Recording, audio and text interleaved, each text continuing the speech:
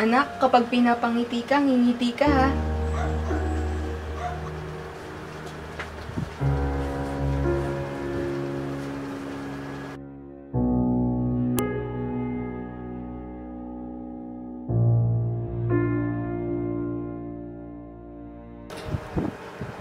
Ma, natatakot ako. Basta anak, sinasabi ko sa'yo, ngumiti ka lang. Gawin mo maganda yung sarili mo. Huwag kang matakot.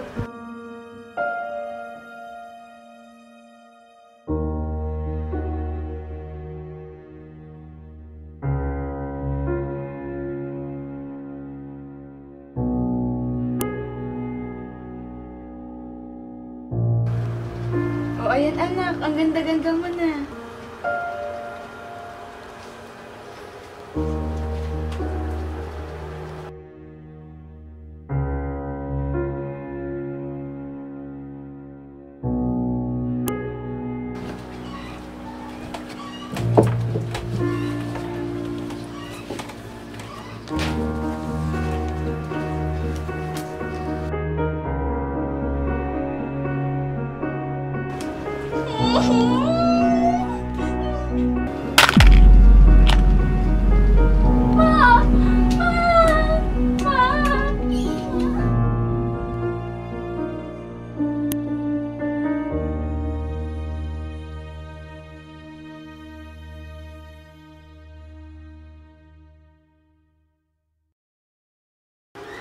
Alam mo yun eh, dapat sa edad mong iyan, dapat, dapat sa'yo nag-aaral ka.